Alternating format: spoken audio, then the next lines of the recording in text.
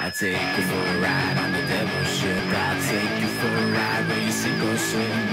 Now come with me and let this story begin. Harry, welcome. Thank you very much. Harry, you're here for a reason. Nice to be here. People ask me, uh, where do you get your stock tips? Who's controlling your mind when it comes to uh, the stock market? It's you. So I brought you on because a lot of people have questions, and you even told me that you've noticed online most people are kind of um, myself. Uh, dumb when it comes to the stock market. Well, that's harsh. when it, dumb when it comes to stock market. Okay. Not in general, even though a lot of people are dumb in general too. we'll get get to that.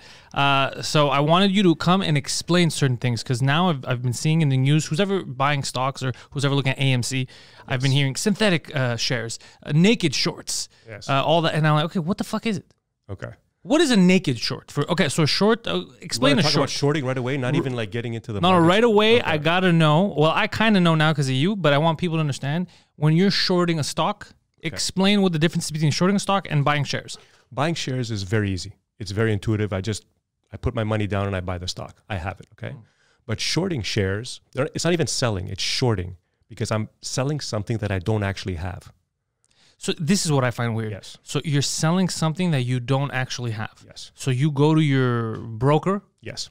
and you want to buy a bet against a stock. Yes. Like in the stock market, generally speaking, you can't profit from a stock going down.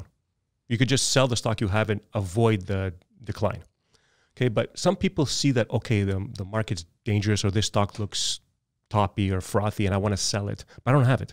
So I want to profit from it going down. How do I do that? I short it, which means it happens very simply. Like you go, you press short on your keyboard and it'll short the stock. However, the mechanics behind it are very complicated, and that's where there can be problems. Okay. Yeah. So what really happens is I need to sell something I don't have. So I go to my broker and I go, "Can I borrow this stock, the certificate?" Okay. So the broker says, "Let me locate it. Do I have it in my books?" Yes. Do I have it meaning that one of his customers owns shares in it? Yes. Okay. But usually the customer own, doesn't own it in his name; he owns it in the broker's name. So the broker has sort of some control over it. Okay. So the broker says, "Yes, I have this stock in my inventory. I can lend it to you." Okay. So I take it, and then I immediately sell it, and I recognize the profit. I recognize this the cash, not the Okay. profit. So let's say the stock is trading at hundred bucks, and I say it's too expensive. I want to sell it.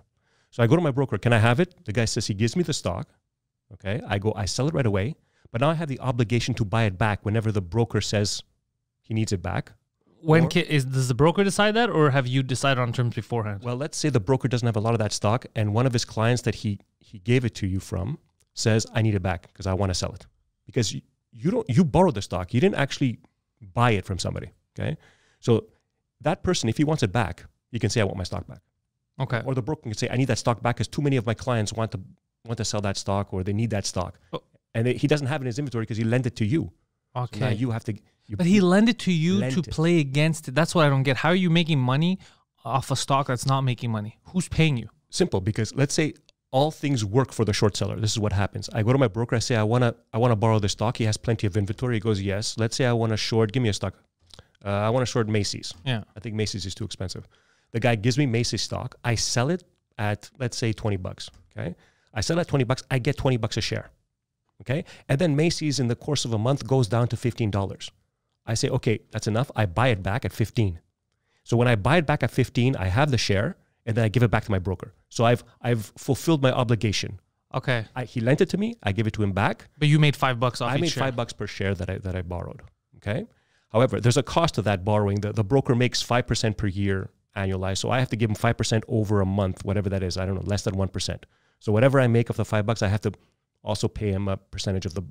It's like a bank lends you money, you still have to give him interest. Yeah, yeah. So he lends you the stock, he expects interest on that.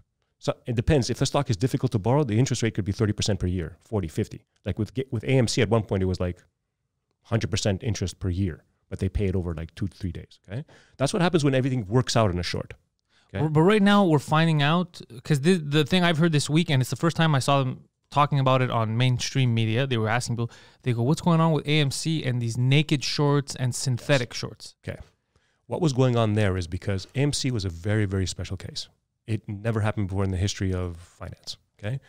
AMC had a short ratio. That means the percentage. AMC or GameStop? Uh, excuse me, GameStop. GameStop. Are we talking about AMC now? Or Ga- I, Uh, either I, am saying, I- yeah, because the last week they've been talking about synthetic and naked shorting for AMC, but I think this is the same thing that happened with GameStop Yeah, anyway. Thank you for thank you for correcting me. You No are worries. correct. It happened in GameStop, but AMC wasn't the case. AMC is also one of those stocks that was shorted a lot.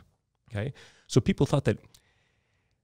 Let me let me go back first, okay, and explain why people like uh, these uh, Reddit guys wanted to buy these most shorted stocks. Okay? Yeah. The reason they wanted to do that is because they wanted to squeeze the shorts. Okay, now let me give you an example with Macy's again. Okay, let's say I borrow the stock, I sell it at 20, but then the stock starts going up to 21, 22, 25, 30, 35. I sold at 20. Okay, every dollar that it goes up and I have to buy back, I lose money. right. Okay, if it keeps going up, I will be forced to cover my position because if it goes if it goes to 40 bucks, I would have to buy it at 40. I lost 20 bucks a share. I lost almost the total value of the shares that I shorted. Almost lost 100%. Because you have to give them back. I have to buy it back and give Yeah. it back. And if it keeps going higher, a lot of the people who want the stock will force the guy to sell. To excuse me, will force the seller to buy back his shares. That forced buying by the shorts will push the stock up even more. Because now I have to buy it to cover my position. Otherwise, I'm losing so much money. So now it looks like the stock is being bought. So Yeah. there's action. So the, the short seller is actually helping the buyers and killing himself. Because now all imagine The more he's short. buying to cover himself, the more the value is going up. Yeah. But now he has to buy more. than other short sellers have to do the same thing, and Exactly. his value is going. Okay, Exactly. so, if it's just a, lot- cycle. huge cycle. But when that tends to blow off, okay, when all the short sellers get out, you see a huge spike in the stock because they all had to buy back and cover, and then it just starts drifting lower, lower, lower because there's no no more buying pressure. That's a short squeeze, Okay. and that's what these uh, uh, GameStop and AMC and all these like uh, CCIV. Uh, AAL, all these like airline stocks and and um, cruise ship stocks, they tried to pump them up to sh- to squeeze the shorts because a lot of people were short those stocks Short meaning betting they against. were betting against. Okay, and they knew that if they bought, bought it enough, it'll trigger that short covering that will put the stock even higher. Okay, Interesting. and with with uh, with Game uh, GameStop, it was unique because the, there was a heck of a lot of shorts, more than any anyone any other. Why time. was that? Okay. Um, because the company was basically going bankrupt. It was a crappy company. Okay. It had a lot of debt. It was in, a, in an industry that it was like they thought it was the blockbuster of the gaming world, right? Yeah, Because gaming is going stores- digital. There's online orders, Correct. Amazon, all that, and then Yes. these guys are still brick and mortar. Yes. So they thought it was old, but they're still making money overseas with their some of their uh, you know brick and mortar stuff. You know, it wasn't completely a crappy company, but it was crappy enough. A lot of these people, people, hedge funds, smart money, quote unquote, because you know they're not that smart sometimes. Um, they bet against it. They thought the stock would go bankrupt. So look what happens when you short a stock and it goes bankrupt. Okay, with Macy's, if I short it at twenty and it's going to go bankrupt, it goes to zero. I make the full 20 bucks. I don't have to buy it back. I don't have to buy it back if it goes bankrupt. I win. I get the full 100% return. And even if it didn't, if it went down to a dollar, you have to buy it back for nothing. So I you're making the difference. But if it goes bankrupt, Yeah. it disappears from the market. It gets delisted and it's as, it's as if And you bought never have to pay You back. never have to cover because it goes back to zero. And that's what they thought would happen. They thought whatever price they were shorting it at, they thought they would get a 100% return. Ah, okay. You understand? Even if I, let's say I, I sell it at a dollar. If it goes to zero, I make 100% of my money, right? I mean, whatever I, whatever I sell, sold it at, I make it. Yeah. So if you put in a million dollars, You, you, they really Yeah. leveraged this trade. Like, they put a lot behind it. They put all their money because they thought it was a for sure bankrupt stock, right? So these guys shorted 130% of the float. That means they shorted 130% of the total shares. Okay, now this is what I find confusing. There's hundred percent of share, hundred percent of anything. There's all the shares available. They shorted thirty percent over what is available. How the fuck is that possible and legal? This, these are the things that piss me off. This is possible because one reason, one reason only. People don't understand the mechanics of shorting. Mm. Okay. When you short a stock, whether it's naked or covered or whatever, we'll get to that later, you are actually increasing the float of the stock. You're creating new shares. Most Okay, people don't hold on, hold understand on. that. Because there's a share that exists already, which is a share that you're going to buy. Now, when you're creating a short share, let's say a short, that's a whole new method. That's a whole new ticket. Yes. So theoretically, if you're shorting a stock at full, you'd be able to go up to 200% because one for each share that exists. Correct. Can you go over 200%? Of course. So it just doesn't matter. You could You keep can go shorting. forever because every time you short, you create new shares. Ah, that's weird. For for example, I'll give you. A, I don't know if we get too technical here, but it, it, it sort of blows your mind. It's like it's like fractional reserve banking, where money gets created. Yeah. Well, this is like stock gets created by the same way because you're borrowing something from a broker that hasn't been sold from you. So the broker is like actually creating shares that you're buying. But how can this be sustainable, sir? easily because you're when you do that, you create new shares. So you always have the original float plus the new shares that you shorted. You can do that forever. You can have 500% short interest in a stock. That means the guy shorted five times the original float, and you will have created those 500 shares. Let's, for example, Yeah. it gets a little bit complicated. Okay, um, let's say a stock, stock A, has 100 shares total outstanding. That is the float. That is all the shares that it has, and it's controlled by person A. Okay, you go into the market, you see that stock is trading at I don't know 50 bucks, and you want to sell it, but you don't have it. So you go to the broker and you say, "Can I borrow those shares?" The broker says, "Yes, I can lend you 100 shares." Okay, you take those shares You sell them. and you sell them to C, your, your person B, and you sell it to person C. So now person C has 100 shares, you are short 100, and the original person A has 100. So that extra, person C who bought the shares bought new shares. This is fucking incredibly Understand? insane. It's crazy. But that's what it is. You just created new shares because now C is long 100, A is long 100, and you're short 100. So you're short 100 and C's long 100 cancel each other out, and there's always the original float left. Okay? Okay. So you always, you always have enough shares to cover the short. The, the thing is, you don't know what price you might cover it. If the stock rips, you might have to cover it at 200 bucks, but there will always be enough shares to cover. But if this kind of like the short squeeze happens Yes. and you've invested too much or you're hedge fund, potentially it could put you do out of business. too much? You shorted too much? You shorted too much. Yes. Okay. So potentially it could put you out of business. Correct. Because whenever you short something, when you buy, a, for example, when you buy a stock, the most you could lose is what? Whatever you put in. Correct. Yeah. When you short a stock, the most you could lose is Who knows? Depends on uh, how much it, yeah, theoretically. how much it goes up. Yeah. Yeah, not theoretically infinity, but not practically infinity. Yeah. Yeah. Like if the stock is Macy's example, if the stock is 10 bucks or GameStop, the stock was 40 bucks and I shorted it, okay? And the stock went up to 500 bucks. I didn't, if I lost 40, every 40 I lose, it's 100% loss. Yeah. You lost way more than that if that's what you did. Yeah. I lost like 800, what is it? I don't know, nine times my, 9, 10, 12, 12 15 times my money. Yeah. That's crazy. I never lose 100%. I could lose 1500%. Okay? And that's what happened with these guys. They were shorting and it, go, boom, boom. it turned out but they, it turned out a 1% short in their in their account. It's just a 1% position wiped them out. That's why all these hedge funds had to cover. These other guys other hedge funds had to come in and bail them out. Because they put so much in and they didn't expect They didn't this expect much you of lose forever. You can't Yeah. lose 100% when you short. You can lose 200%, 300, 400, 500. They lost 10, 20, a lot of a lot of their money. So is it good that people on Reddit got together and they said, "Fuck these assholes"? Yeah. They're, they're playing the game in a weird way. We're gonna play the fucking game in a weird If way. it's legal, it's, it's legal. legal. 100%. If they're, Yeah. they're allowed to do it, Yeah. they're allowed to do it. Why not? If they see an inefficiency in the market, I would have I would have done the same. In fact, Reddit are not Reddit is not the only reason uh, GameStop went to 500. They just like to blame Reddit. Well, I mean, they were the catalyst, let's say, but you know what? It wasn't just Reddit. It was a lot of hedge funds who made that trade too. They saw a vulnerability in the hedge fund. I forgot the name of it. That was long. The, that was short these stocks. So they went, they piled in billions too. There are hedge funds that made billions off of the GameStop trade. And I'm sure there are hedge funds, we'll see it later, that made millions and billions off the AMC trade. AMC went from what, nine bucks to 70?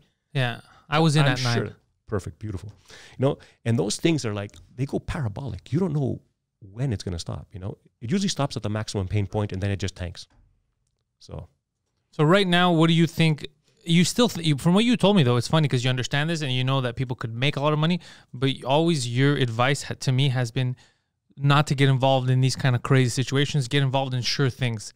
well, there's nothing. There's not a sure thing, but you want to get involved in things that where the risk reward is in your favor. For me, at least five to one. Okay, but you could get involved in those things, but treat them as trades, and get out. You'll never get out at the top. Okay, if you can take fifty percent of the move, you're a genius. Like you know, I had GameStop, but I, I didn't get out at five hundred. You know, I think I got my last shares out at like one hundred five. I thought it was a genius because then it tanked to like 50, 60 or something, and then it ripped to like over a week to 500 after uh, I think it was a pre-market or aftermarket, but it was trading in the in the regular market at 400 bucks. That's crazy. It's it's it's crazy. It's life changing if you're in it, you know. Yeah. But you have to take your profits. I mean, it was a once in a lifetime thing. If you continue to like hold forever, like hodl, like whatever, you're never gonna make money. It's the best guys always sell when everybody else wants to buy. Yeah. That's what you told me. Yeah. Yeah. and you said to- when the mainstream media starts talking about something, it's too late. it's probably too late. Yeah. You're in the dying legs. You know, Yeah. like the best time to buy GameStop was in I don't know, last year September when it was like flat and doing nothing. You know, and the worst time to buy is when everybody's buying it. you Yeah, when it was in the news. Yeah. when it was 100, 200, 300. Well, when I heard about it, it was in the 100 range. I didn't know what was going on before. I was like, what the fuck? Yeah, who knew that it was going to go to 500? I mean, you could have made money on a, on a trade, you know, like get out and after two days, you know. Yeah. But that would be gambling because you don't know how. We're talking that it, we're talking now after the fact. But isn't all this gambling in a way? If you're buying, if you're buying during that parabolic phase, It- no, but in general, the gambling. stock. I understand that you put a lot of research into what you do. However, the We don't call you- it gambling in the stock market. We call it speculation. yeah, it, but it is gambling. I'll tell you why. Because you the logic is not always in control. Like Correct. you'll see things where you're like, wait, I don't understand what's going on. Like we were talking about gold and silver, for example. Yes. It, gold will go up, but the miners won't. Although, go, like weird things. It's like, who's controlling this? How can this be possible? Yes. How, if gold is going up, the people getting the gold, well, their value should go up too. Not today, Junior. Like it's we're just deciding as we go along. Yes. Why though? Who, who? How does this happen? It's the markets are forward discounting mechanisms. Okay. They, if you're talking about what's going on now, okay, and you're trading about what happened now or two days ago, you're already too late. You should have made that trade six months ago. The market right now is going to trade based on what's happening six months in the future. If you're trading about newspaper headlines now, you will lose. I guarantee it. You have to know what will happen in the future and how things are set up. okay? Right. And that's very difficult. Okay. It requires like, for me, the way I trade, I have a very specific style. Okay. It's, it's like a hybrid style, but I like to look at the macro view of things, where things will go, generally speaking, and then go to the middle and then go down, knock it down even more to the company level. Okay. Like for me, I, I, I like to have a view of what's going on in the future. Okay. And Like you told me, you were telling me you see the future right now. Everyone's serious about clean energy, about uh, different ways of uh, food, of making clean food and all that. So you, you try to find the best companies that are working or they're researching to make a better future with keeping those kind of pillars in mind. Yes. So you find stuff that, yeah, right now it's easier to buy in, Yes. but they're the ones with the highest potential if this trend continues, if that's where we're going. okay, let me give you an example of what I did six months ago and how it panned out to today. Okay. Okay. Six months ago, um, when Biden got in, the theme, the general theme was now we're going to have the Biden play. Okay. The Biden stocks will go up. So, what does that mean? That means that stocks like uh, clean energy, because he's going to put a lot of money into the Green New Deal, okay, those stocks are going to probably rip. Okay. And what what is going to also do well is reflation trade because he's going to spend a lot of money. He's going to do a lot of fiscal spending, trillions in dollars, okay, with the Green New Deal. So, and the economy opening up after COVID because when he was, he's the president, he's going to slowly trying to open up the economy to make it look good, you know. Uh, at least we hope we hope that was the case, right? Yeah. So at that that's going to be very inflationary, okay? But back in October or, no, or November, things were not acting like there was going to be an inflation trade. People were still worried that the stock market is going to crash again, that we have to be worried about another second wave of COVID. So at the time, nobody thought there was going to be inflation or the thing opening up, okay?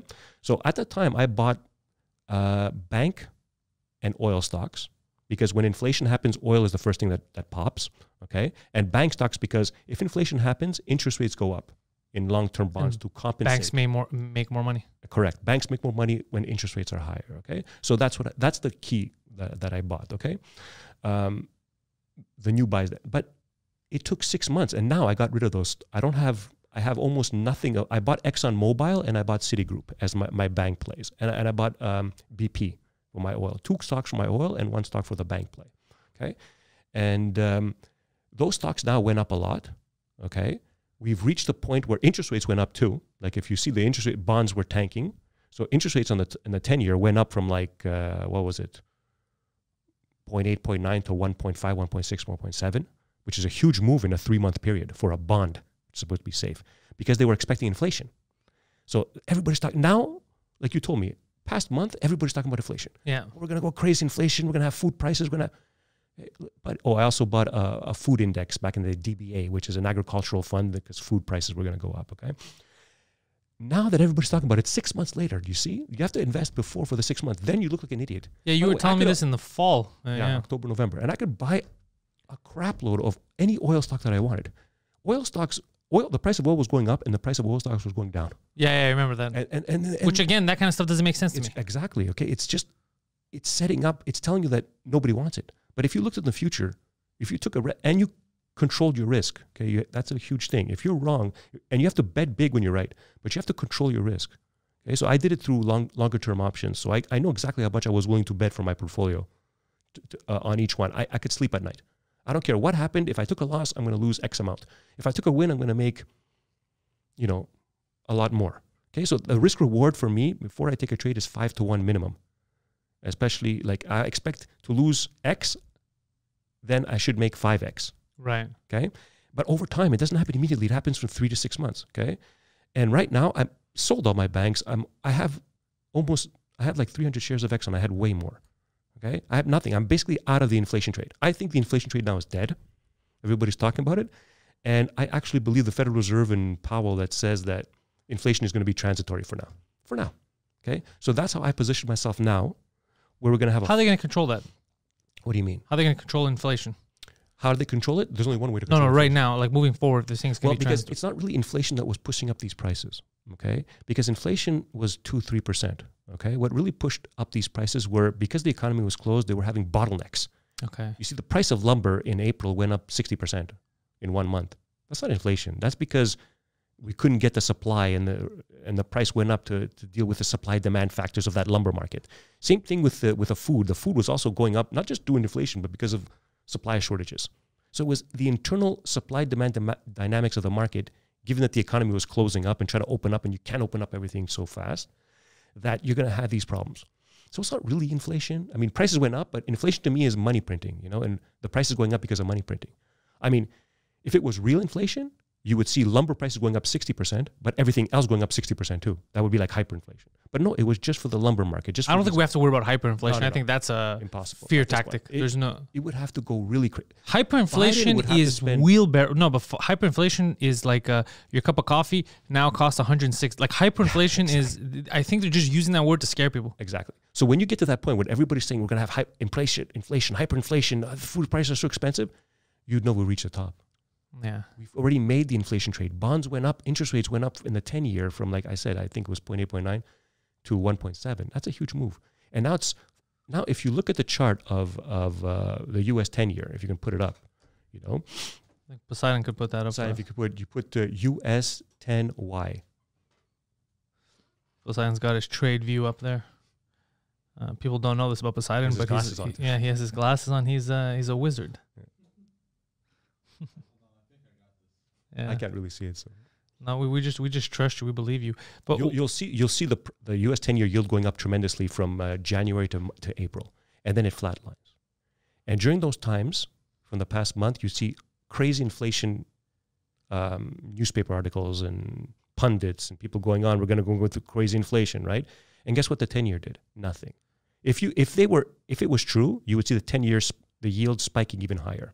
So you see that they're talking a, a crap load about inflation, and yet it's not moving the actual market. But why? This one I don't get. Why are they so late? How is it possible that they don't see this? While is it done on purpose? Well, they just see what has happened. They're they're they're looking towards the past. They're like walking backwards, you know, and they're saying, "Oh, look what's happening." Oh, and then the prices go up. They don't see what's happening in the future. You have to trade what's more likely going to happen in the future. So it's not the news that is important; it's the market's reaction to the news. So when you get a lot of bullish inflation uh, stories, and you see things that should go up with inflation flat or starting to go down, that means there's no more reaction to it. The market has already priced it in. Okay. So the only way to go now is the opposite way. And everybody says, no way. We ha-. So I said, for the past month, I said the inflation trade is dead. And we're going back to the transitory inflation. So we're going to see rates go down, I think. I'm betting this way. Rates are going to go down. You're talking about American.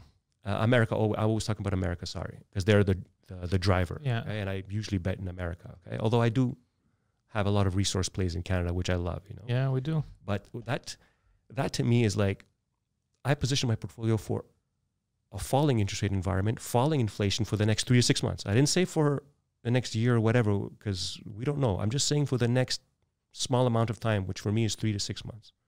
I position that rates are going to go down. We're going to see tech doing well again because tech got beaten up when inflation was going up. Yep. Some stocks are down 50%. Good tech stocks are down 50%. So I think tech, I position myself some tech. So that kind of stuff, you know, things that will benefit from falling interest rates and falling inflation. And what about because the resource play that we're we're is that a future play? Yes. because like uh, I talk a lot about uranium to people. I only learned about uranium from you. Yes. Uh, I had no idea how much it was already being used. When I first started speaking to you about uranium, I thought it was some kind of a, you know, there's like three factories on the planet and they're trying to make weapons. I had no idea how many. Well, that's true too. plant. That's true too. But I had I didn't, I didn't have any idea also about how, in terms of what we want from clean energy, if you do it right, if you put the actual resources behind it and you and you run it properly, how clean it is and how much energy we get from such little uranium. Correct. Now, is this something that's catching on with places? Is that why uranium is slowly going higher and higher? Yes. I mean, you did your homework, right? Like Yeah. you surprised me. You you you really do your research, and you're really a smart person. You put your mind to everything. That's a exaggeration. Uh, you, like, because you came at me with this as well. You say, Harry, what about this thing? I heard this mine was closing. And I go, yeah, you're Yeah. correct. What, what is the overall impact of that? You're getting into the nitty gritty of the um, supply demand funda- uh, dynamics of uranium. Well, it's a very specialized market. Okay, first of all, it's not. It's not everything's not in the open market. It's not traded in in in the spot market, which we will. A lot of contracts are done on the over the counter market between utilities and and um, users of uranium and the and the miners of uranium. Okay, it's a lot of it's a very specialized market. However, I've been in it since 2018, and I believe that the supply demand fundamentals are such that um, the price has to go up eventually, or we're not going to we're going to stop using uranium. Okay, I I love uranium. I think it's the most energy dense fuel out there. We should be using it a lot. It is super clean. It is the safest form of energy. Uh, ever, but that only here's a, here's the argument. Chernobyl and Fukushima, including that. It's but it only but the argument is valid you're right only if we don't take into account human error because so far all of the like the worst thing that's ha- that's happened with uranium accidents have been human error Correct. or laziness even fukushima so But Fukushima, not- I'll put a little asterisk on Fukushima. Not really. Yeah. There has been no deaths from a uranium meltdown in Fukushima. All the deaths were from the uh, tsunami that happened. okay no deaths but still having radioactive water that's not good No, right it's not good. That's not good. but i just mean th- these things could have been avoided had we done humans a better job Yes. But it looks like we always try, even though we know that it's dangerous, to cut corners Yes. instead of doing it right.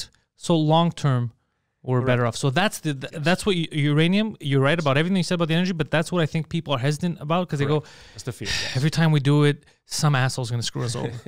And I get him because I look at it historical. I'm like, yeah, there's always someone who's gonna ruin it for everyone. The only th- the only nuclear meltdown that happened was in uh, in uh, what was that um, in the Soviet um, uh, not Fukushima but Chernobyl. Sorry, Chernobyl, and that was because it was a wartime uranium pl- um, reactor that they don't build anymore. It, it, it was it's a positive feedback reactor that it it increased the chain reaction when they try to upgrade the fuel. It increases the chain reaction that so things got worse than they were, and literally that was the worst that could ever happen. The the core was literally on fire Jesus, it can't get worse than that.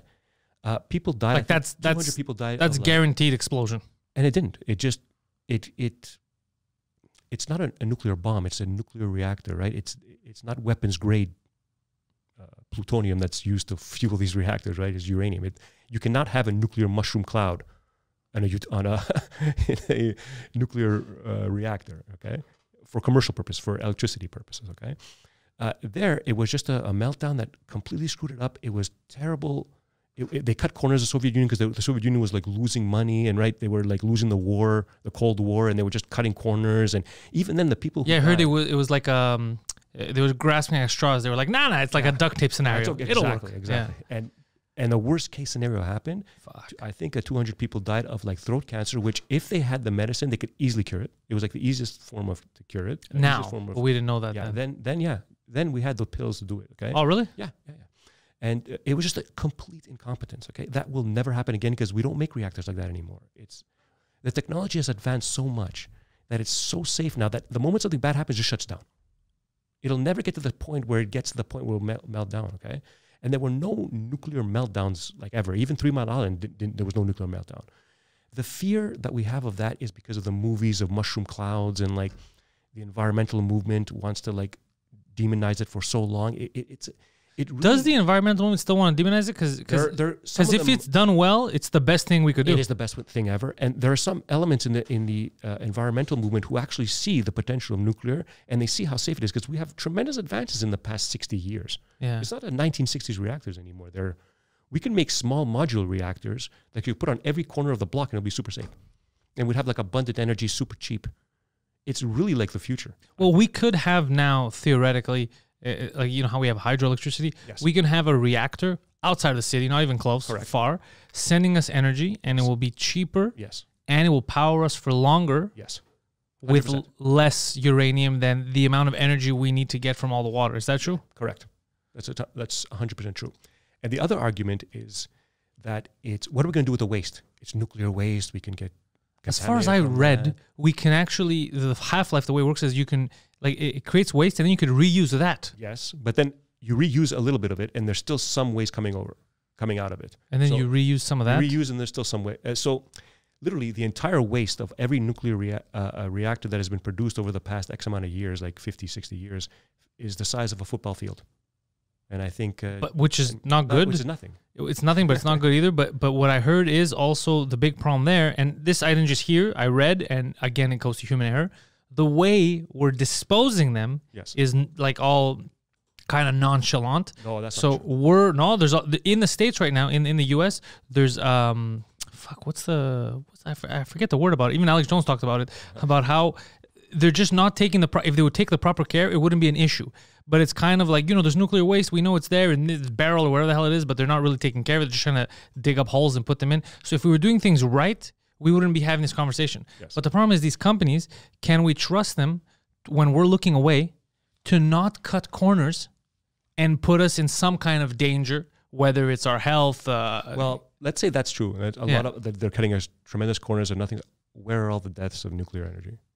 We, we would see them somewhere coming out. Okay, and we would see like even what about destroying crops or you know just I've, I've seen nothing. I've seen none of that. I've seen no no adverse effects of that. It- I mean, look at Chernobyl. They said we would can never go to Chernobyl for fifty thousand years or twenty thousand. That was more of a tourist thing. They meant Now- you don't want to go to Chernobyl. You didn't before But now either. they're going for tourist destination Chernobyl. There's no, there's no like people are afraid of radiation because we don't understand it. Okay, but I'm afraid of it because I fe- feel like I do understand it and it scares the shit out of me. yeah, but to me, I'm not afraid. I'm not afraid. Like you, you give. You're not radi- afraid of radiation.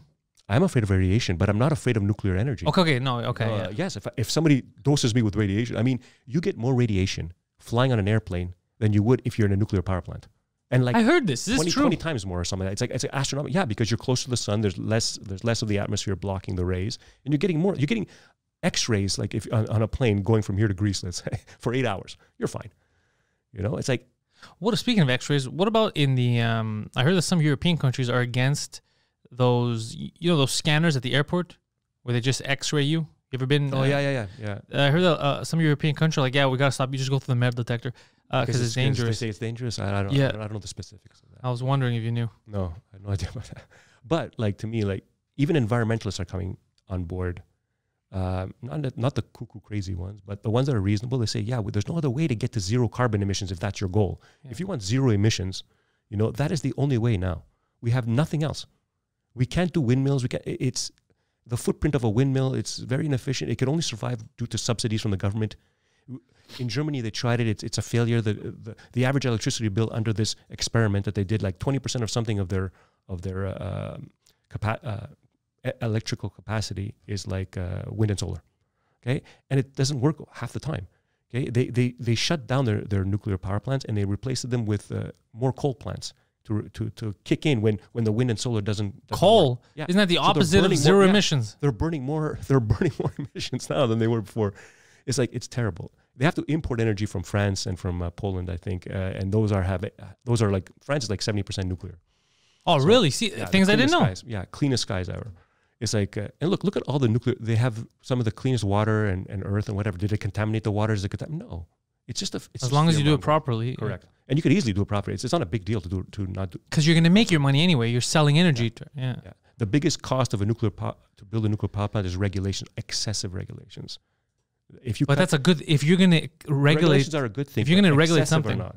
yes, you're right. You should regulate it. Yeah. But like the regulations for a coal plant, which is much more polluting and much uh, more uh, uh, radioactive, like their coal dust is so radioactive that it, that has no half life. It's there forever in some cases. Okay, and the margin of safety for a, to meet the margin of safety to build a coal plant is let's say this much. Okay, a small small amount. For nuclear energy, they made it this much. You have to you have to pass like 50 hurdles compared to the coal plant, which is more dirty, more uh, more radioactive actually, and not to mention like for for the green energy, like for wind and solar, in order to make those things, you have to mine a lot of these dirty metals, a lot of these like radioactive metals that are. It's very dirty that mining. Okay, it's very bad for the environment. So like there is nothing that is perfect. We have to we have choices in life. You have to decide. You have to balance the good and the bad. And to me, like the best form of energy by far, if done correctly, like you said, is nuclear energy at the at the moment. Okay. Now you shouldn't do 100% nuclear. Like you still need to have redundancies. You should do some natural gas. You should have some hydro. You should Just have, in case. yeah, you know. And uh, So what about Quebec? Quebec has so much hydro, we're we're lucky that we have hydro in Quebec. Yes. so we don't need nuclear. You're saying, or nuclear I wouldn't mean, hurt? it would be nice because I mean, what's the evil? What's the evil of hydro is that you destroy the environment to dam up everything and like, the rivers and the, the wildlife and whatever. But that's up north, so because we don't see it, it's okay, right? that's the beauty about Quebec. Everything is like so up north that we don't get to see the damage that we're doing, and yet we're getting like very cheap energy because of it and environmentally friendly, quote unquote, in terms Here. of CO two emissions. Yeah, in Quebec, but you can't have hydro everywhere. I say where you can do it, do hydro. That's okay. But where you can't, I would say do a lot of nuclear, and then the rest to fill in the blanks, do natural gas for now. You know, that's my mix of how things should be. If you if you care about global emissions, you know, If you don't, then if you don't, then do whatever. You coal coal. Yeah. It's so cheap. you know? Oh, but that'll ruin us. What about? So we've talked about gold a bit. Yes. Uh, I don't understand. So gold was something that everybody used to tell me growing up. That's the safe bet. You put your money in gold. And then I'm not saying it's not the safe bet now, but I feel like these numbers don't make any sense. Like whenever you think gold should go up or gold miners should go up, and then silver, I keep hearing, well, silver's always going to rally behind four times, three times as much as gold goes up. But I haven't. This past year, I really haven't seen that. I've seen both gold and silver act erratically. So I'm like, is there are there decisions being made that are keeping these manufactured prices for now and then they're going to adjust or is it just that i don't understand how they should be uh, valued Are you saying is there gold manipulation happening? that's what i'm saying but in, in i'm trying to say it a long way Yeah. just so i don't get uh, misunderstood but i do feel like they're manipulating the, I, I feel like the stock market gets manipulated a lot but i do feel like the price of gold and silver are 100% being manipulated even when I, I started looking into one of my friends sent me a thing about quantum computing yes. he's uh, heavily invested in different things and he told me dude because i mentioned gold and he goes well gold the way i the reason why i see its value in the future he goes is because of quantum computing i was like i don't why would one go with the other? And he's like well these computers are made of solid gold. And i was like no they're not. That's just that's a meme.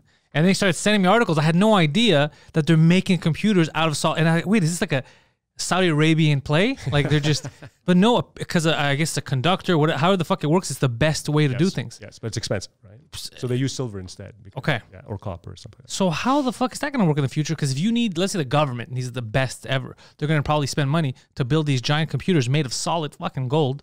So when the aliens come down, they think we're insane. How does that eh, how, does that fit into the equation in terms of gold? Like, is gold first Is of all is like gold now being quantum computer? uh, gold is gold right now? Am I crazy or is it being manipulated to be held back? The short answer to the question is yes. There is being manipulated. However, they I mean it's it's a fact because a lot of traders have been caught in you know in the bullion banks like J.P. Morgan and all these like even Scotiabank has been Oh, really? Yeah, these big- they're big. cocksuckers. yeah. So yes, they've been fined, but it's just a short term thing. It can only affect the price in the short term. In the longer term, they can't. They can't really affect. It. I mean, when gold went up from 2002, I think it was three hundred dollars an ounce to like nineteen hundred dollars an ounce by 2010. Was that manipulation? Upwards? no. I mean, yes, there is manipulation, but not enough to affect the long term trend of it. Okay, and yes, there is a lot of like. Uh, gold is affected by the paper market. There's a lot more paper contracts, futures contracts affect the price of gold more than anything. Like if the if they weren't there, then maybe gold would be higher now. We don't know. Speculating, and people say maybe if people didn't buy Bitcoin, they would buy gold more. And that would And drive that up would- the price. But the thing is, is if you want to trade gold, if you want to know anything about gold, there's only one thing and one thing only you should look at, and that's real interest rates. People think that gold is uh, affected by inflation. Like we were saying, like we saw inflation go up between November and uh, now, and how come gold tanked hard? Gold, it's bullshit. Gold, it's being manipulated down. Go, Yeah, yeah. no, because gold does not follow inflation. That doesn't. It's not a good correlation. If you look historically, if you do the if you do the the regression analysis, you see the correlation is not very high between gold and inflation. Okay, because inflation, I mean, gold works with real interest rates, and inflation is just one component of real interest rates. And what I mean by real interest rates, it's the nominal interest rate, the interest rate that you see quoted, minus inflation, equals the real interest rate. So you have to look at inflation, but you have to look at the, the interest rates that's happening outside right now. Okay? So you could have a period where inflation goes up and gold goes down. You could have periods when inflation goes up and gold goes up. It depending on how the interest rates are moving, so it affects the real interest rate. But I have never seen a situation where real interest rates go up and gold goes up. Because there's a there's almost a perfect inverse relationship between gold and real interest rates. So real interest goes down, that's when gold starts going up. Correct. Think about it. Why? Because if you're getting less of a real return and it goes to negative, gold holds its value. It stays like that constant forever. So why would I go for a negative real rate when I could have a zero rate in gold Yeah, yeah. and maintain my power? Okay. So if interest rates go up to 1%, 2%, 3% positive, why would I hold gold? I will Uh, just put it into, into financial assets or real estate or something else because I'm going to get a real return, whereas gold will not give me a real return. So it makes perfect sense. Okay. So you have to look at real interest rates. Forget about everything else. So we had a period where inflation went up during the Biden play, the inflation trade, and gold went down. Why? Because the interest rate went up higher than inflation. So real rates actually went up during this period. People were slamming their their fists on the table. I go, I can't believe gold is going down. I bought a lot of gold and inflation is going up. It should be an inflation hedge. Nobody. You just don't know. If you would look at real rates and they were going up, you would have sold your gold. you know? But now it's a different situation. Now we have a situation where I think the, reflation, the in- inflation trade is dead and interest rates are going to go down again because people were bidding up interest rates, uh, the 10 year, which I look at the 10 year bond as a, as a benchmark for interest rates and gold. Okay. And I compare that with the inflation rate to get real rates.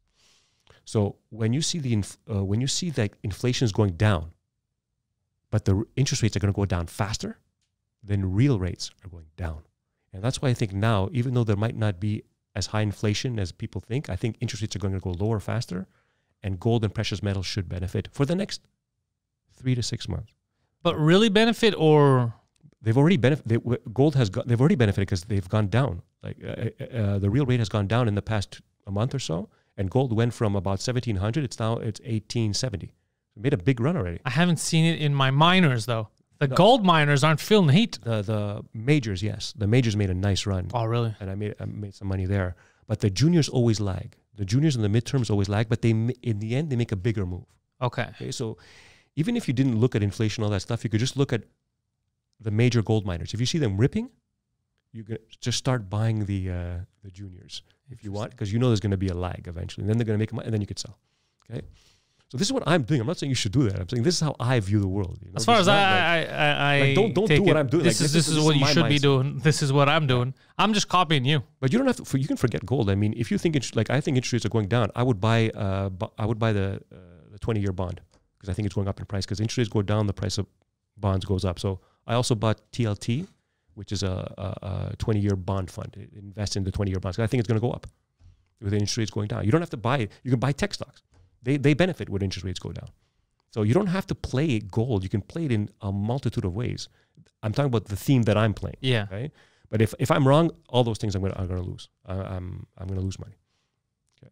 But you know, talk to me in three to six months. We'll see where we're at, and maybe we change our minds. You know. I think you're going to be at a good spot. So far, what you've told me long term, it kind of plays out for me. It works. Plus, I always have like multiple options. You don't just give me one. You're like, just in case this doesn't work out, this works out. And Right. overall, I'm on top. Even if one goes down, the other one's going to go up enough to make up for the loss of the other. What about, I don't, it's not like that everywhere, but in Montreal, the last year, another shocking thing that happened was the real estate market. Mm. So people were out of work, Mhm. uh, companies were closing down, people were working remotely, and yet the real estate market here exploded.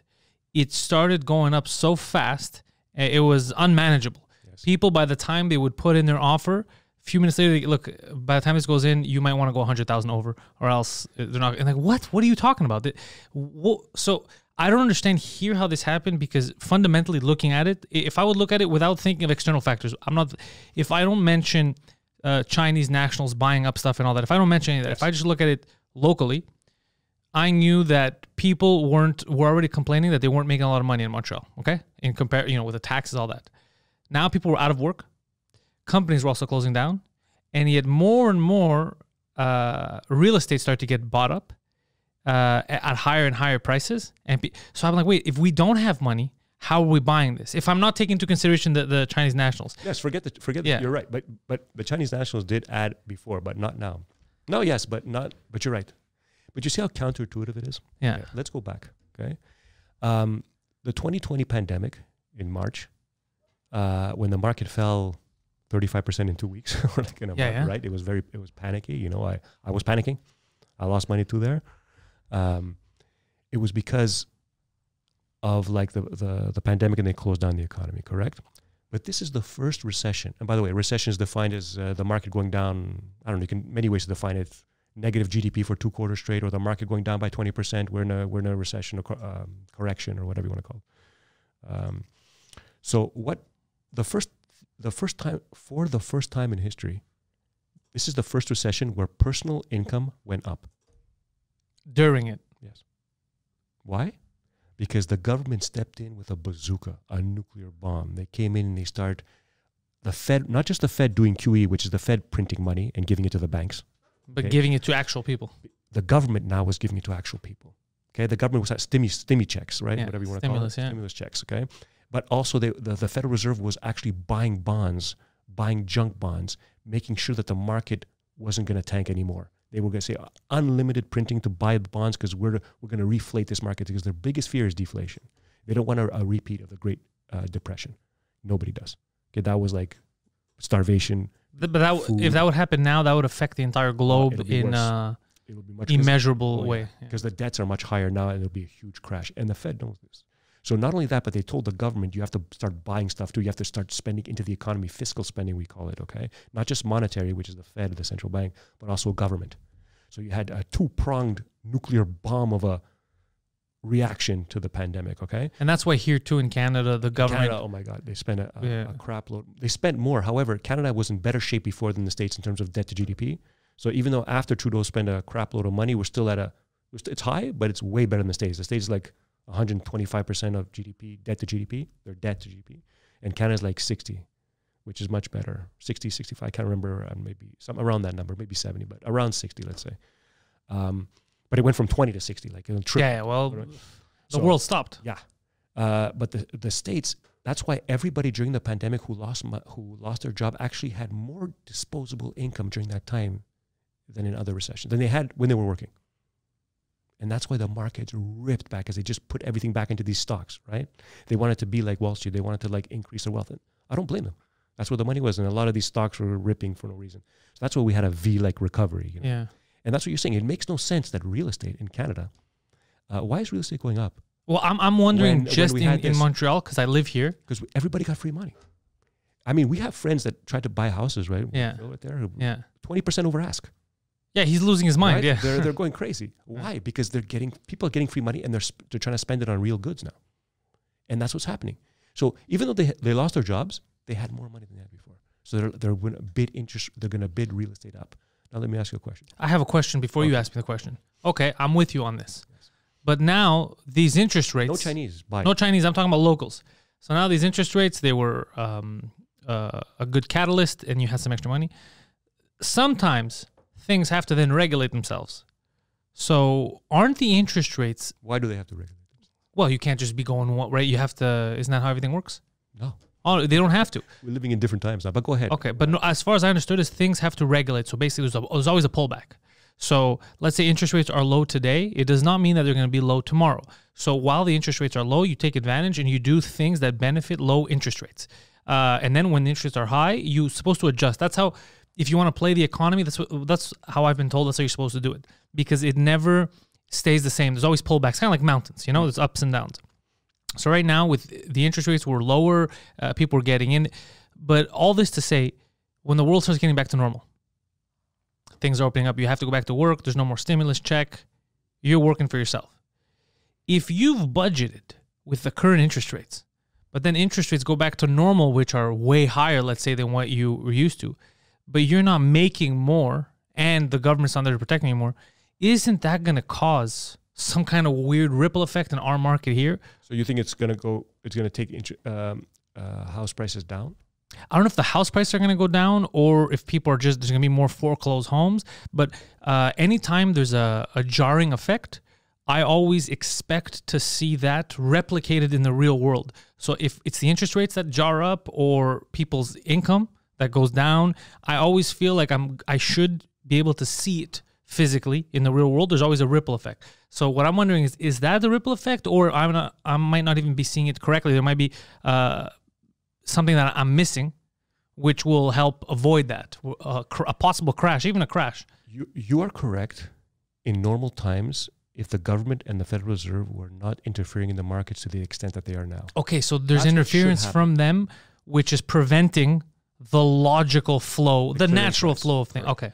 do you think the stock market would have ripped uh, to new highs had there not been stimulus and massive spending by government? No. And impossible. We would have a crash, and we, we would work out our debt. It would take a year or two, and then we'll go back up again.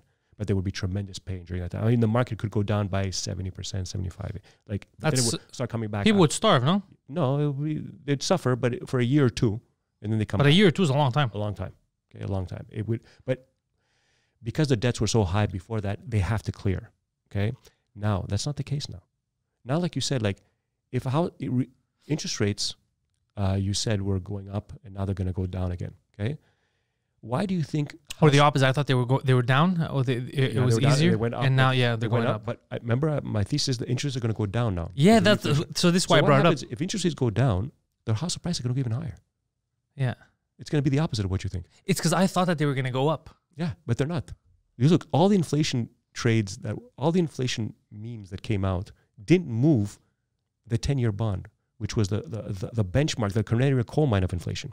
Okay, if that's and in fact it's starting going to starting to go down, that means that they've already priced in the inflation that they think is going to happen. Now, in the future, might change, but as of right now, the, the market is saying to me, signaling to me that the inflation trade is done for now, and it's going to go back down. So inflation rate, if inflation goes down and interest rates go down, housing prices, will- and and you have interest rates. And this is again. U.S. and Canada. They kind of follow the same US pattern. First, but Canada is like it's like yes, it's the same. But when I say for the U.S., it'll happen in Canada too. In Canada, it's even stronger because Canada never had a, it kept going up. yeah. But people think that there has to be a pullback. There has to be a pullback. Not in, not if this mechanics play out as they have been in the past. And by the way, it's not just a money printing thing in, in Quebec, in Canada as a whole. It's also a, a supply shortage. Nobody's building new houses, right? Maybe in, they're building condos, but houses, there's a, a, a, lack of supply and nobody's building new ones. So the prices can only go higher in the future. Put that with money printing. I don't think I don't see a house crash because of that. You think there should be a pullback? Why? Given these fundamentals, given the fact that the government is interfering, given the fact that nobody's building new houses, and we can go into that. That's also a government interference. They're not allowing houses to be built. Really? Well, because they're not incentivizing. Like a lot of the residential real estate and stuff like nobody's building two duplexes, triplexes, or single unit homes. Why is that? Just to fit There's more no mo- people in, in larger buildings? Like if you, the laws here make it very difficult for uh, or landlords to make back their money as the as the house price go up because you can increase rents. Like the the, the Régie de Logement uh, fa- favors more the tenant than it does the, the landlord. So you have that going on. So you can't, as a landlord, you you can't really renovate your house as much as you would want to. It, it- the houses that you built are not going to be for the lower income or it'll be for richer people because you can increase rents easier. Uh, the rules don't affect them as much. So, like you have the rules in place in Canada by trying to protect the tenant, you end up like creating less of a supply for the people who need it the most, for lower Income. income people and middle income people. Okay, and for the houses, like I don't understand why houses aren't being built. I have no idea why you should be building more supply of houses. I have a theory. Because there's so many, many more people and everything's gone digital. Um, and I had, when I worked in virtual reality, because I, used to have to read all these uh, articles about the bleeding edge and, and what's technology the moving forward. Yeah, the bleed, the first time it was just in VR where I, I heard edge the term bleeding edge. Yeah. I used to hear cutting edge, but then, then it was bleeding edge. Uh, and I remember reading about how the planned future, because a lot of these people, they orchestrate what they want the future to be. Uh, people that are um, either in tech in, in front or economics or whatever it is, they have a vision of what the future should be and they push things towards that. So a lot of the big VR play, video games were using it, but it wasn't for video games. Mm. It was for uh, alternative living in a future world where your personal space is smaller than it ever was. And they kept using Japan as an example. Okay. They go, what's happening in Japan where they had to go up? They didn't have, let's say in Tokyo, they didn't have uh, enough space. Most major cities, whether they like it or not, that's where they're headed. So since people are going to be living and working in cities, They're gonna have smaller living uh, quarters, is what they call them. Um, if we can keep upgrading our VR to be more realistic, uh, more immersive, and since people are getting more and more comfortable and used to paying for digital goods, we can get to a point where, yeah, their house is very small and there's nothing in it, but all their luxuries are in the VR world. When they get home, they enter the VR world, kind of like an avatar situation. And more and more, and I remember thinking, I go, who's gonna like? There's limits to digital stuff. I go like, fuck that. But I was wrong 100 percent because I was making fun of skins and all that. Nobody's gonna pay for it. Where I was 100 percent wrong because they're making millions, if not billions, off that kind of shit. So it looks like in major cities, that's where they wanted to veer towards. That's why I'm saying to me, I don't like it, but it does make sense why they would just build condos and smaller units and just fill it up. And the excuse is always, no, no, your vacation, you can get away wherever you want. You own that stretch of, of, of virtual digital world. You know, and then you meet up with your friends digitally, and we're slowly going towards it. We're remember that, that movie Ready Player One, complete Yes. nonsense movie, Yes. but there was little things in there where I was like, oh fuck, like I remember we talked about that. I remember reading about like shit, like that's fucking weird. Yeah, Yeah. They're, they're they're putting all their lives into their avatars and, and all that stuff. Yeah. So like, obviously the movies they sensationalize it way more than what the actual planning is, but there's a lot of people discussing. There's a lot of people discussing in the industry about that, and same thing with AR, augmented reality. The big play, the bigger play there Yes. wasn't just for your social stuff. It was for medical purposes, which was very good. Yes. Because you could scan, you could scan. Um, uh, well, at the time that's what we were talking about. I don't know if anyone's actually doing it now, but let's say a cup of coffee or a bottle. You scan it right away and it tells you because it has your profile in there. Harry, you right now because what you ate in the morning, you could use this because it has the proteins you want, this and that. Avoid that because you're allergic to this, this, this, this. scary. It's scary. It's amazing, but these are the long. We're gonna start seeing that more and more because we were talking about this five, six years ago. I think I was reading about stuff like this, and we were looking at how we could apply it and what's. So this is all stuff that's in the works, if not already being used somewhere, I think the pandemic accelerated stuff like that. for sure. Like it brought it forward by five, ten years. But you're right; these things are happening. Like uh, augmented AR, augmented reality is huge. Uh, telemedicine, Yeah. how to use that for telemedicine, that was huge. That was nothing before. Now it's like nothing. I shouldn't say nothing. It was growing, but exponential growth. remote surgeons. I remember that Yes. about you can have if there's the five best surgeons in the world, Yes. but one of them is in fucking Dubai, the other one's in Russia, the other one's in yeah, Greece. yeah, yeah. Well, virtual, they're in there and they're tapping because of the internet, gigabyte or 5G. They're, they're tapping into the actual surgery of someone in the US, an emergency surgery, and they're feeling everything, the feedback like a PS5, huge. and and they're doing it. So they're performing the surgery through robotics, through the internet, through VR, Yeah. and they could save lives. Across. This is amazing. Yeah. These were the basis of science fiction Yes, 50 years ago. yes, I agree. And now we're these are in testing. These are in practical use in some places. It's crazy where we're I've always said if a human being thought about it, eventually we'll make it happen. It might take 100 years. Like people have been thinking of flying forever. Like yeah. Aesop, Greek, ancient Greece. It happened in uh, 1903 or something. Yeah. But it's going to happen. People went to go to space. We're going to go to space. Yeah, they're gonna figure it out, yeah. We're going to colonize Mars eventually. It's going to happen. Maybe a thousand years. I don't know. But it's going to, once we think about it, we're, that's why I love human ingenuity. I love tech. Love all that stuff. Like for me, when you're thinking about augmented reality and all that stuff, as a trader, how would you play it? Like, are you going to buy those firms that could go bankrupt and, and you wait, they're just burning money up until they realize it and then they die and then some other new competitor makes it? Or like, to me, I would buy the, the, the hardware behind it, the, the semiconductors, the, the, the, the, the cards. You know, you, you know what I'm researching? like ri- the rise, you know those Ryzen cards? Like yeah, something like that. That's how I Graphics. you know what I'm researching? I could be wrong, but I'm researching uh, what goes into memory for the future because Mm. the biggest thing now is space capacity. That's why we're we're, you know SSDs and we need this much a terabyte. Memory is the future because everything is stored. Whether because even cloud storage is not in the air. You need servers to, to so it's memory. So what I'm looking into is what is the memory of the future. What's the SD card of the future? Mm. How fast? How much capacity? Because that's what we're going to need. Because sooner or later, when we're all really connected, all that you're really going to be changing is adding more memory because your interface is going to be upgradable. Just like how we thought it was only the nerds soup up their PCs and whatever. The future is you're all going to is soup. nerds. Yeah, yeah. the nerds are the future. The nerds just read it. They realized it before anyone else. Like why the just like car people. Yeah. Why the fuck would I get rid of the entire car when I just need this component and I'm in the future? You get it? So that's what it's going to be. So memory, I think, is going to be You're right. a huge play. What is the play on memory? I mean, 5G is a play on memory. Yeah. We're increasing the capacity of our phones. 2G is nothing. 3G was not. 3G was a quantum leap over 2G, right? 5G is the Internet of Things. Yeah.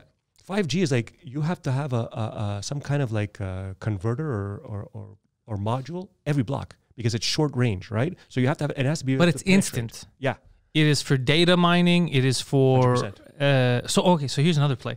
So years ago, and this was right, right before I got into VR and stuff. I remember there was a guy talking to me about a play that he wanted to do, but he just and I was gonna help him, but he just wasn't organized. a VR play. You're saying? Um, I call it an AR play. Um, and I wish he was more organized so we could have got into it, but I think eventually someone stole his idea because I think malls are going to start doing it now. For video games or what are you talking? No, no, it was for um, what we do. So right now we all do it. We, his idea now exists because he waited too long. But you know how your phone has all your cards on it, and you could just scan your card and go it. He he was kind of thinking of that, but specifically for malls. But they expanded the idea, and and he didn't do it. Everyone else did it because he was waiting too long. You have to jump on these things. But one of the things that came from there, that where then I saw they're doing, I think in the like Dubai or some shit like that. You know, like the the VR and the AR, the AR stuff rather to try clothes on, so you don't actually have to go into the room. Mm. So he his idea was then expanded upon because someone else got to think about it and your cards everything is on your phone so all you need is your phone when you walk out of the house technically. And you can go shop you could do all you want. But your current phone or a, a higher level one? well current you could do it with your current phone. I just don't do it i don't put my cards on my phone but you could put all your cards on your phone digitally. You could just scan it. Uh, phones have really they're becoming the all-in-one they're becoming glitch from reboot. But there's something that malls haven't learned how to use yet that they should which is like the 5g the internet of things. Yes. they you should have a profile in malls which um, then could send you when you walk into a mall hey pantelis welcome i know that you like 11 and a half size shoes or like the 13 Tom size shoes What is that yeah uh, come over to Foot Locker. We'll give you. There's a sale on these Adidas. I know you like Adidas. I know you like Nike. Whatever the fuck it is. Targeted advertising. Target advertising to your phone, uh, special discounts. That you, and when you walk into a store, maybe "Mm, welcome, Pan- welcome back, Pantelis. You know, shit like that. That's the future. That's what's. Uh, Uh, that's like a, a huge. Uh, you're probably right. You know, but what about the privacy elements? What about the what if one person controls that stuff? Like that's that's what I would. So that's the however, danger. That to me is like, it's irrelevant to making money. If it's gonna happen, you have to go with it. You know what I mean? Like I'll tell you how I feel. Yeah, go ahead. I am more of a privacy, individual liberties type of guy. me So too. I would rather have privacy than have the comfort of a robot telling me that my shoes are in. yes. A hundred percent. So you can However, opt- you can opt out of it, right? you can you should be able to opt out of it. However, I do believe that the way the world is going and the way people don't give a fuck anymore about their privacy, about their rights, everyone's public. Everyone has their 15 minutes of fame online. It was on Instagram. Everyone's on Instagram. They're, they're sharing personal stuff. Very Personal stuff. I just broke up with him. No, no, no. It's like, dude, that's none of my business. Don't tell me that. So everyone is super, super public. So I don't think that's going to be a barrier. I, think people would welcome it. I agree. We're going to welcome our robot overlords. I agree because people don't understand like freedom.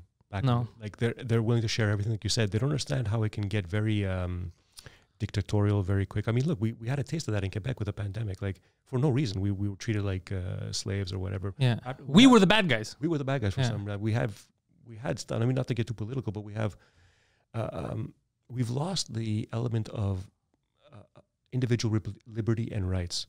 People will say it's will pick community rights over individual rights. Right? That sounds good, but that is a recipe for like getting into very authoritarian structures Yeah. like socialism and stuff like that because it's good for the community, but doesn't work in real life. You know, you need to target the individual. I think, like you said, everything is targeting the individual. Even businesses target the individual. You should be able to control your own avatar, your own image. Like I don't like Facebook because Facebook should be paying you for the stuff that it takes from you. Yeah, it takes a lot and it tries to, and then it sells that information. says that you should give me a cut of that. There should be a law that says, if there was a law that says I as I as an individual control everything about me and whether you want to target advertising to me, and you have to pay every company that does that, especially like when you walk through the mall and they say I target this, they have to pay you a certain amount to do that. yeah, that would make sense. That would make sense. I would because then you can say yes or no or whatever. That's perfectly fine. But if you go down that road, you you might be going down the path of like two or three or four corporations like having an oligopoly over stuff, you know. And that to me is like, for personal liberties is bad. But if I were an investor, I would have to invest in those companies. Because that would be to- where the future is. You have to disassociate yourself from what's good or bad and go where the trend is going. You know. So that's what I do with my trading as well and my investing. So Well, it's like me with Palantir. I don't Palantir, like. I, I I like the company. it's a great. Fun. It's a great company. I don't like the fact that it's part of the monitoring everything uh, revolution. Uh, though some of the uses are with, fucking mili- with military with military, yeah, with some of the uses are incredibly cool. It's like super, like the Gotham stuff is, is like super futuristic Batman level uh, shit. However, I don't like the spy tech, but I know that that's where we're headed. I know that information is the future. So I'm like, all right, if I'm going to put some money in tech, I'll put some money in these guys because it's the future. It's the future I don't like, but I know that that's the future. Like I could, I agree. I could tell. Uh, data is huge. Yeah. Yeah. But there's a time and place for everything. Like you are correct in the long term, but in the meantime, if you invest in these companies, Oh, I gotta wait. you can get killed. Yeah. You know what I mean? You can get destroyed. You don't know. You have to like you have to be smart about it. It's not as easy as just having a view. Then you have to research it. Like what um, the way I trade is I have a macro view of how the world is, and then I go to the, ma- the the midterm, and then I go for the stock. Like I told you, like back in October when I saw the inflation trade, I said there's going to be an inflation trade. We, we were in a deflationary environment. We are always in a deflation environment in, in the world. Okay, that's a secular. We are in sec- secular or disinflation. I should be more accurate with periodic spikes of inflation depending on what, what governments do and how heavy they want to do it. But we're not inflation. We we have a tendency to go down. Okay, and I have that view, uh, and then I say, okay, now that we have, we're going to get inflation. What's going to win? Yeah. Then I go in there, and then I, I cut it down. Okay, what's going to? Okay, I've got oil. I'm going to this. Then I cut into. Oh, I'm going to put into this oil company because it seems to be the best. So you say I go from pack. I chisel it down, chisel it down, chisel it down. That's how I view things. Okay, I don't say, oh, I like AMC. I'm going to buy it. I mean, you could win, but you don't know how you won. Like you don't. Right. know. You, you, it's more like I like the fact that we're opening up. I like the fact that people are talking about going to movie theaters. For example, I'm saying if that was the case, uh, there's a movie theater here with no debt, which is not the case. AMC is completely rattled. Uh, yeah, I get what you're saying. You have to really chisel it down. But about the housing, because I think we forgot about. Yes. So what you said is interesting. So if the government is stepping in, and they're kind of propping things up the when government has to. has to step. I'm not saying they're doing the bad thing. I'm just saying No, because ha- has already stepped in. I'm because they've stepped in. to. No, no, but because they've stepped in, and they're not letting the nature of things run its course, then doesn't that also incentivize the fact that there's not going to be any houses built, like you said, regular homes or duplexes? Because right now, the way it's working, everyone's making money off it. Why would you Not change everyone. things? Not everyone, right? Exactly. Why would you change? Why would you change things if right now things are working the way they are? Whereas if you would have to create a new neighborhood, let's say, expand, create a new neighborhood with uh, duplexes and single family homes, whatever's in demand, you, you don't get to decide. It's whatever the, the market wants. If But- you need single family homes, build single family homes. but it would look right now like the market is demanding more condos, more because that's what's selling. Good. Yeah. Let them do that. And then there's going to be a there's too many too much supply of condos. The prices are going to go down. They're going to build something else. But however, But I feel like we adapt. So like humans, even though let's say you want a house for your family, you'll settle for the condo. So because of that, it's not like there's a hearing where it's like, do we need help? People are like, no, we just need homes to live in. well, they will react with, that, with whatever's going on. But that doesn't mean that what is going on is correct. Okay? Right, right. And like you said that everybody wins. I don't think everybody wins. Even the people who only the people who own property are winning. But even then, are they winning? Because if they sell and they have to buy a new house, it'll be just as expensive. Oh as yeah, yeah. I see what you're saying. Are you really winning? And who's who's dying? Who's not winning? And it's like, what about the 30 year old who just found a job and wants to start a family? The house is too expensive. The house is like eight times his in- nine times his income, where in the 70s, 80s is maybe two times his income. Yeah. It's not affordable anymore for, for the younger families to start buying these houses. They would have to get in tremendous debt. It's like students now. Even doctors have to take on a lot of student debt, and their doctors in 40s, 50s still haven't paid off their student debt. You know, I mean, you're a doctor, but you you have this debt overhang you. Like, I mean, like, it's just too much. I think. But what It's can be done for that? the reason it's going to continue is because of these government policies that are just inflating the prices up with with like look i hate to say it but we shouldn't have printed money we I, I know. had the crash we should have had a crash and but, But wouldn't have people? Wouldn't have too many people suffered if that yes they would have suffered so the government almost ha- like that's how i played. the government had to do it so even though economically you should let things out because in economics if you let things play out it will turn out better in the long run there will be a crash for one or two years but then we'll be even higher now and it won't be with debt it would be with real economic growth which is much more sustainable over 50 100 years But sacri- the sacrifice of human life would have been. no you're not going to sacrifice people could suffer for one or two years It depends. they did in the great depression they suffered even more But even but now, like already, there's a. i mean i'm not advocating for it but no, no, I know. But he, he had a study on here in Quebec. I think what is it? Forty percent of kids go to school hungry or shit like that. Like we terrible. already, and this was before. This was pre-pandemic. Yeah. So already we were teetering. So if, if this happened and the government didn't step in, and it, w- it would have been. But the government has already stepped in and had school programs, everything. uh, School, uh, we have free schools, and they've do, they're already doing it, and yet it still exists. Why? Because you're circumventing the market mechanism. Okay. It yes, you're feeding the kids, but then any other any small problem, the kids still will still starve. You're Yeah, becoming yeah. dependent on the government program. So it's like, is it good really? Like, if is welfare good really? I mean, you're helping the poor temporarily, but then you're making things more expensive, and then for them in the future, and you are uh, making it so that you have generations of people on welfare.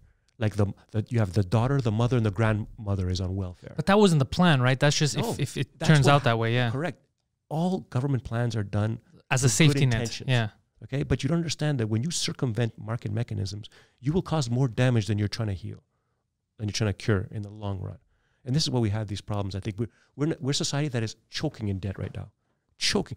And every bit, Japan, uh, Europe, the states now didn't used to be, even China. China before in 2008, China almost had no debt. Now they're like 100 percent of GDP or something. Really? All the ma- huge debt uh, uh, printing, money printing in, in China. I know that they're money print like Huge. crazy. I know that. So the four major drivers that drove the economy in the past are now levered to the hilt.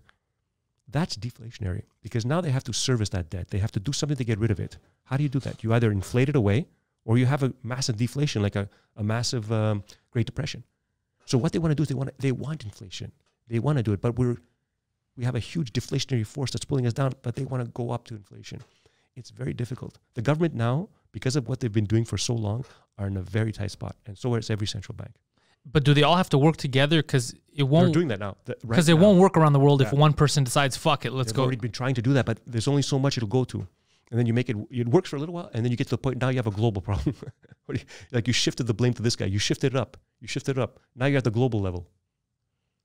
So globally, they have to agree and like, look, we're going, we're playing the inflation play because we can't let you decide uh, to let yourselves crash because then it's going to affect all of us. We're all connected. We're all going to be trying to pull up while you're destroying us. It'll fuck everything up. So they have to come into an agreement.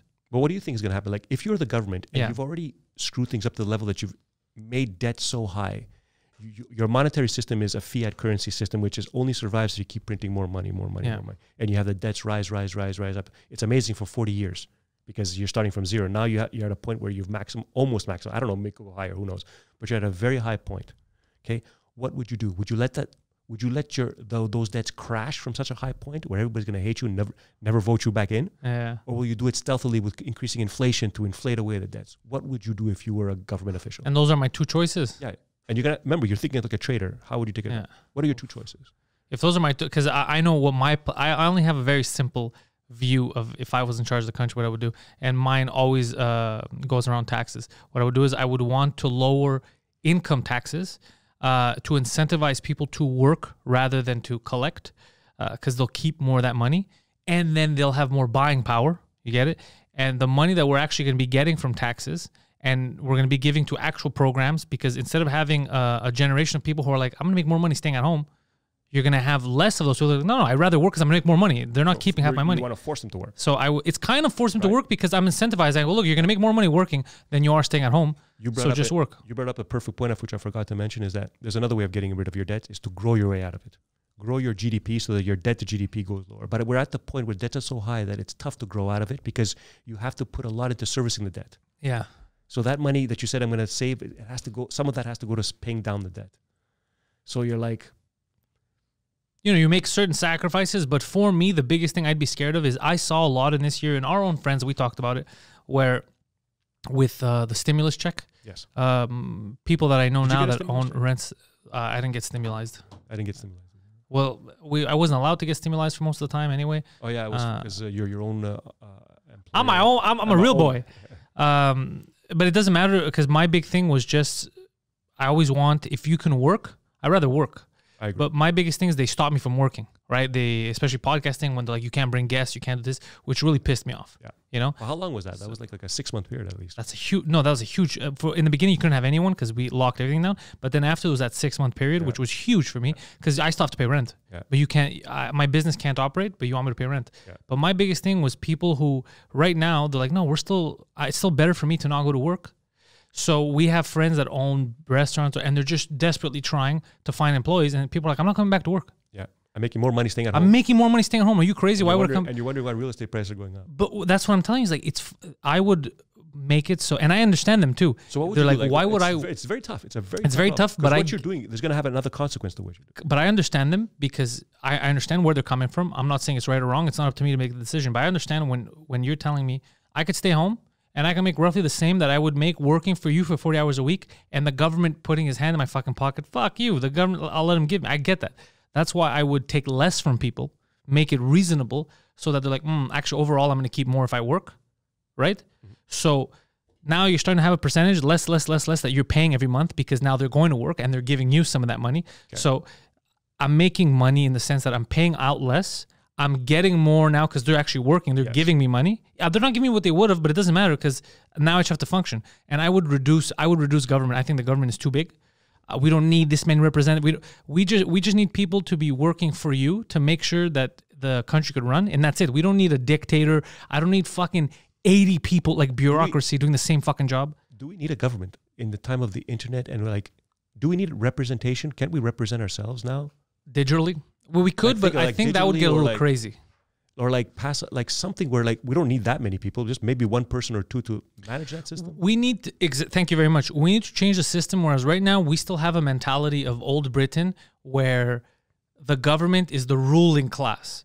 That needs to change. Hundred percent. They're servants. They're doing uh, servants, and I don't mean it in a bad way, but I mean they're doing a job. It should be shifted to an employee employer. We're the employer because we're paying into it, mm. and they're the employees. They should be held accountable by us, not by some non-elected this is the- governor general that. You're saying the, that's the U.S. Constitution, like. The, I know that's why I, I love, dude. Yes. The the American we, we people like to point and make fun, Yes. but America figured it out up until these fucking companies and lobbyists took over the country. So no, the people that are in these uh, in the Senate, they're no longer representing the constituents. They're representing um, company X, company Y. That's when it fucked And up. it's a big, big tech, big oil, Huge, everything. big are being represented. But if it was But not the, for the- them, the founding fathers never intended. Never intent. That's what I'm saying. If it wasn't for that, if it, they were representing their, dude, that's the best form of government that we figured out so far in humanity. It's just that when we figure something good out, obviously the other Somebody screws it cocksuckers, up. somebody screwed up. So now you had these companies like, wait a second, You mean I could? I could pay Eliminate my money, they could competition. represent me, and I could weed out my competition. I could get stuff move faster. Fuck that. I'm I'm I'm, I'm going in. So that's where we screwed up. I screwed don't up. blame them. If I was a guy like that, if I was a company and I, c- I You'd could find ways out, to I s- could yeah. if I could do that. But if it was written in some law that the government cannot give corporations money, or like you can't get special favors from me, then we'd fine. Because every company would want to, like, if I had a small company, I would want to have government help to eliminate my competition. But if I couldn't get that, if it was against the law to do that, no problem. I think we'd have no problem. I think we need a hybrid. That's why I'm saying we need a smaller government because I don't mind social uh, socialist policies. I love socialist policies because I like the idea that we've made it to the point where in society and in technologically and we've advanced so to far help to help the lower level. To help the lower level so that it doesn't stay the lower level and it could move up a safety net if you will. Yeah. the problem is it's in the guise of socialism like we're but we're not. We're just we're just keeping people down so that we can stay on top. Like the government wants to rule so they keep people down. There's no it's not really a helping hand. It's more of a you're kind of staying in this pool. Well, there's stay no here. helping hand. There's, There's no, there's not even a ladder. There's, they just exactly Do it for there's no ladder. It, they do it for themselves. What i like is the fact that I, I don't mind paying taxes if i know that there's no way that my neighbor's kid no matter what if my neighbor loses his job whatever there's no way that they go hungry. Then i'm like fuck yeah i'll pay taxes. I don't mind. That's that's a community thing. That's a human being in in the year 2000 something mentality. I'm fucking all for we can do that without income tax. we could do that without it. This is this but this is the thing. But you have to get rid of everything else. All they, the other crap. they trick you into thinking that that's what you're doing now and but they're not doing that. There's people that are there and they're just throwing money at these different organizations and systems that aren't working and they're not really taking care of what needs to be taken care of that's why i get mad because i hear people like no i don't want to take care of the neighbor fuck him if he falls no no i'm not like that are you crazy we're human beings we're not animals i'm all for it there's a ch- no, but even if the guy didn't want to take care of his neighbor, like, well, then you can't get the benefits of the government uh, program. Like, you should be able to opt out as well. I want to. You have to have. For me, it's like personal freedom. I like that. you know? I like personal freedom, but I love I love to know that um, because because I'm contributing, let's say to my community, to my grassroots, because I'm contributing, there's no chance of someone living in 2020, but they right. live as if they're in the 1800s. Yeah, yeah. I'm fucking all for that. The problem is that's not what's happening, especially with the money that goes into these the salaries of government employees, and we have so many representatives, not just at the federal level, but even provincially. It's just absurd to me. It's like we're spending so much money for them to meet after meet and eat, and fuck, it, it kills me when I think I, about shit like that. I, I- I heard a statistic that in the states, like um, sixty cents of every dollar that goes to government gets eaten up by the government, the bureaucracy, It's crazy. and only forty percent goes to the actual intent of that program. It's crazy. I mean, It's- if a charity operated that way, it wouldn't be called. A charity has to give ninety percent of what it takes to To be called a charity? Cause, yeah, yeah. Maybe we should do everything to charities. Maybe. Every- charity for energy, charity for uh, you know defense. I don't. It's whoever runs it more properly. Because people are like, oh, you need the government. Who's like? I keep hearing people say, without the government, who would build roads? But you guys know that the government isn't building the roads, right? It's still private companies. The government isn't. What do you think? You think Biden is building a? He's paving a road? What are you guys talking about?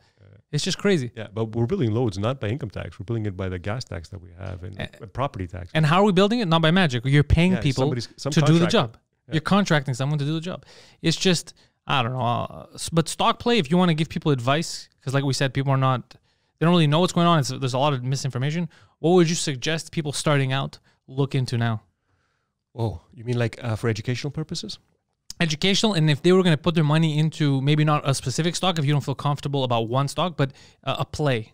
Okay, well, I can't give financial advice. Though this, these are these are this is just speculations. my, my, this is just yeah, my, what these I are our do. opinions. Yeah. Okay, but first, like, my goal is to like, I mean, thank you for having me. My goal is to have financial literacy for all. Yeah. Because, like we said, we're having this political conversation about how things are getting very, very bad. Prices are getting very high, and we can't count on government anymore to help us attain our goals. Especially when you're a young couple and you want to go to retirement and you want to live a nice life, not have to go to work at Starbucks when you're 60 or 70 years old. you know? Yeah.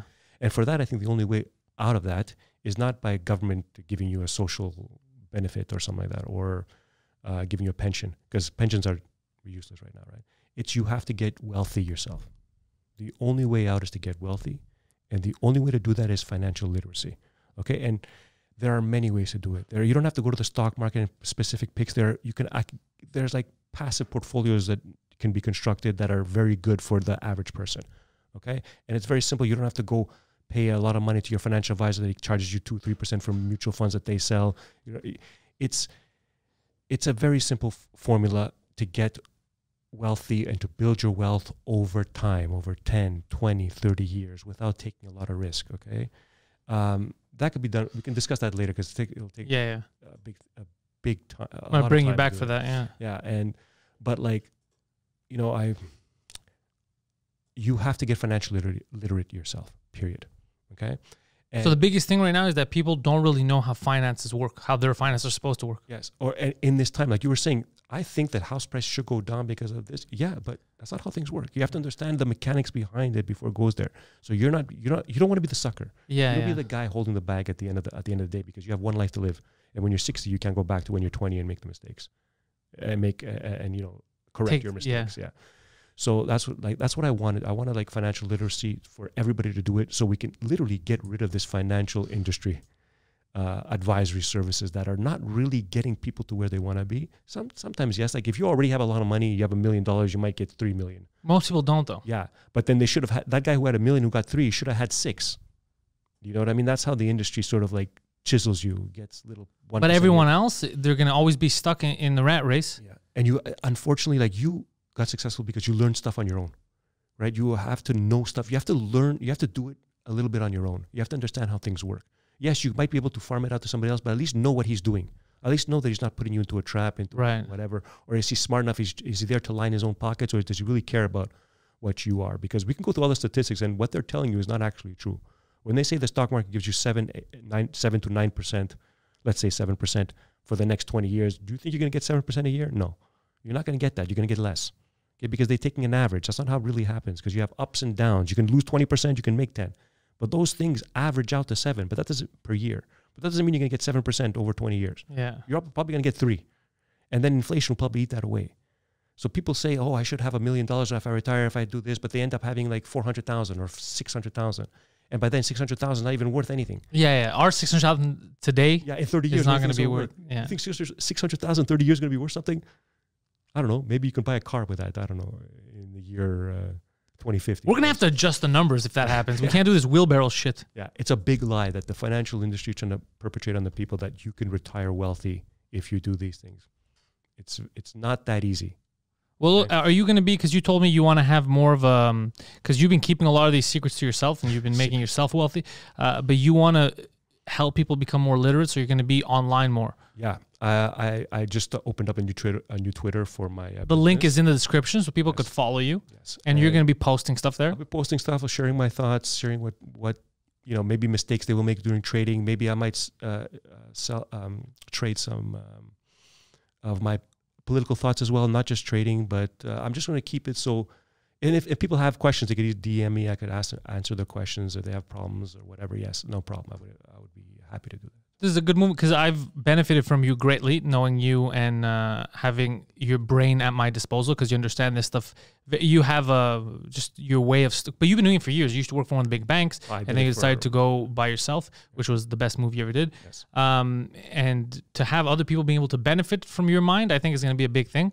So follow Harry. Links in the description. Harry's going to be back anyway. This isn't the last we've seen of him. You guys have been asking me to bring my stock guy, as you call him, uh, repeatedly. So now he's here. So I want to make you more of a like a recurring guest, especially when there's something that's going on in the market, something big. pleasure. And uh, one day, hopefully, you'll feel comfortable and you start your own goddamn podcast, and you'll be. I, I would just say weekly, man. You do a half hour weekly. You go online. You have your little setup. You talk. You tell them this is what I think is going to happen this week. Blah blah blah.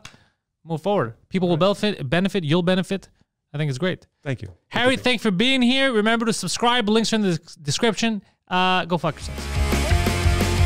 Welcome everybody to the thoughts in my head. All my confessions are the latest trend. I'll post them on my feed